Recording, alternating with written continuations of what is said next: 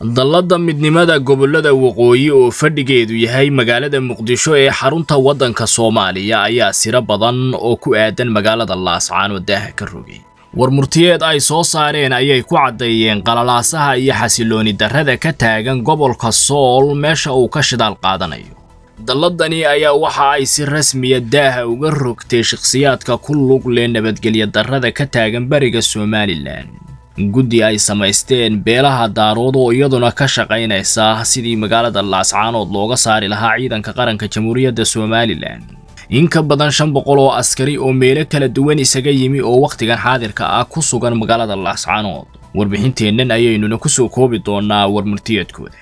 warmurtiyeedkan oo uu ku saxeexnaa guddoomiyaha dalladda midnimada somalilan ee gobolka banaadir ayaa waxaa lagu yidhi ugu horrayn waxa ay dalladdu taageeraysaa warmurtiyeedkii ka soo baxay madaxda dhaqanka dirka koonfureed kaasi oo ay ku dhalleecaynayeen. Duulaanka ka dhanka ah jamhuuriyadda somalilan ee ay beelaha daarood ka wadaan magaalada laascaanood ee xarunta gobolka sool. Waxaana ay dalladdu cambaaraynaysaa ayaa lagu yidhi warmurtiyeedka habka ay u abaabulayaan nabadgelya darrada magaalada laascaanood ee ay isugu raaceen deegaamadaasi waxaana ay tani ku soo kordhinaysaa baa la yidhi taariikhda soomaalida hab ugub ah kaasi oo wakhtigan xaadirka ah taariikhda gelaya iyadoo awalba soomaalidu la daalaadhacaysay utumo iyo sida oo kale hurgumooyin ka soo raacay taariikho hore. Beelaha daarood waxa ay u dhaqmeen si aan wanaagsanayn ee aanu walaalaha nahay ayaa lagu yidhi warmurtiyeedkan oo aan kala reebasho lahayn iyo qof loo ergoodo intaasi kadibna dalladda midnimada somalilan ee ka dhisan magaalada muqdisho ee xarunta waddanka soomaaliya waxa ay daaha ka rogtay siro aan hore loo ogeyn. Kuwaasi oo ku aadan qalalaasaha iyo nabadgelyada muddooyinkii ugu dambaysay ka aloosnaa magaalada laascanood waxa ayna ogeysiiyeen markii ugu horraysay dalladani guddida guud ee beelaha daarood oo uu guddoomiye u yahay ra'iisul wasaarihii hore ee soomaaliya cabdiweli maxamed cali gaas iyadoo oo ay guddida tan xubno ka yihiin siyaasiyiin geyiga soomaalida si weyn looga yaqaano. Waxaana guddida tan liiska sare kaga jira madaxweyne siciid cabdulaahi deni madaxweyne axmed madoobe madaxweyne mustafa cagjar iyo xubno kale oo dhammaantood si weyn looga garanayo dhulka soomaalida siyaasadana caan ku ahaa.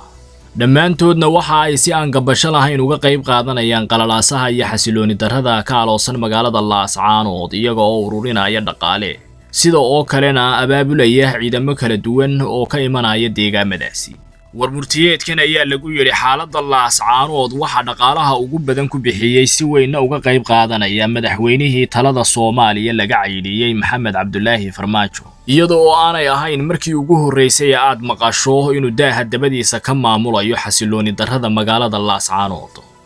warmurtiyeedkan ay soo saartay dalladdu waxa kale oo ay daaha kaga rogtay sheegtayna inay ilo sirdoon ka heshay in ka badan shan boqol oo askari. Oo ka tirsan dowladda federaalka ee soomaaliya inay wakhtigan xaadirka ah gudaha magaalada laascaanood ku sugan yihiin kuwaasi oo ka qayb qaadanaya qalalaasaha iyo xasilooni darrada halkani ka aloosnayd. Ciidamadan ayaa waxa ay ka kala tirsan yihiin bay idhaahdeen danab kuwa booliska ah ee nise loo yaqaano iyo sida oo kale ciidankii ilatariya lagu soo tababaray xafiiska ra'iisul wasaaraha soomaaliya xamse cabdi barre ayaa isaguna ku lugle qalalaasaha kan sida ay sheegeen oo warmurtiyeedkooda ku soo saareen. Waxaana ay sheegeen hub iyo daawooyin inuu ka dejiyey magaalada laascaanood ee xarunta gobolka sool markii dambena soo qaaday dhaawacyo. Waxaa jira bay yidhaahdeen oo warbixinta tanna ay ku soo qoreen warar aan rasmi ahayn kuwaasi oo la faafinayo iyada oo la shaqaalaysiiyey dad badan oo baraha bulshada si weyn uga dacaadiyey ciidamada qaranka somalilan kuwaasi oo ku calaamadinaya inay tacdiye ka geysteen magaalada laascaanood ee xarunta gobolka sool. Madax dhaqameedka halkaasi ku sugan ayaa xogahan marka la helo waxa soo baxaysa inanay gacanta waxba ugu jirin hase yeeshee dalladdu waxa ay sheegtay inay diideen ergooyinkii ay somalilan u dirtay waxaana ay ugu dambayntii baaq u direen madaxweynaha dowladda federaalka ah ee soomaaliya xasan sheekh maxamuud iyo ra'iisul wasaaraha. Sida oo kale madaxda dhaqanka ee soomaaliyeed ayaa waxa ay sheegeen inay sidii dhaqanku ahaan jiray ka qayb qaataan daminta xasilooni darrada ka taagan magaalada laascaanood waxaana ay fariin u direen bahda dhaqanka ee beelaha direed iyo cid kasta oo ay taladu ka go'do dalka iyo dibadda meel kastoo ay joogaanba waxaanay ugu baaqeen inay ka soo qayb galaan shirka ka qabsoomi doona laba iyo tobanka bishan aynu ku guda jirno magaalada boorame ee xarunta gobolka awdal. Ka farxi ehelkaaga asxaabtaada iyo qaraabadaada. Oo soo deg abka dahabshiil si aad si fudud lacag ugu dirto. Marka aad la soo degto ablicathonka dahabshiil ee aad lacag ka dirayso isticmaal koorka khadmad la'aanta ee tree free oo kuu sahlaya in saddexda jeer ee ugu horreeya ee aad lacag dirayso aan wax khadmad ah lagaa qaadin دهبشيل هەڵفودەی دی جمال دێت